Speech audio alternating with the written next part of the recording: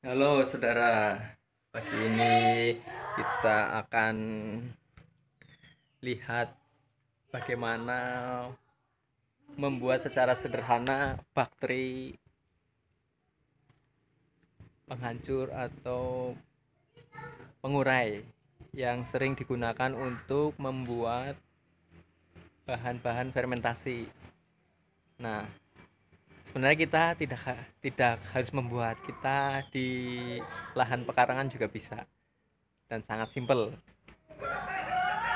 Nanti kita lihat bagaimana kita memanen ya melihat memanen bakteri.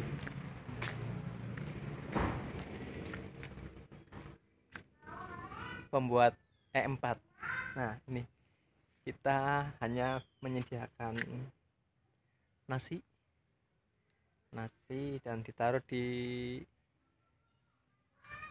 daerah yang teduh. Jangan terlalu panas. Dan kita diamkan. Nanti secara otomatis mereka akan keluar. Nah ini kita lihat.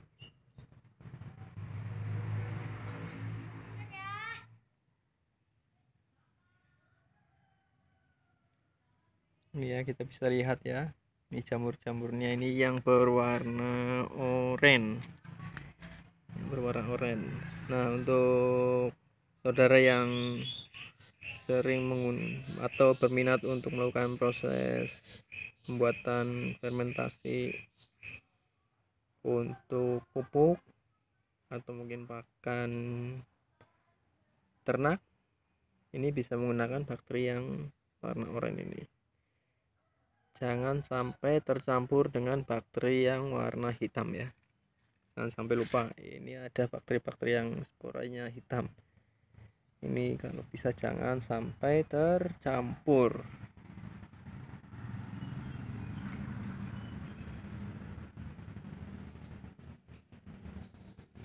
Nah, kita hanya menyediakan nasi, modalnya nasi ya.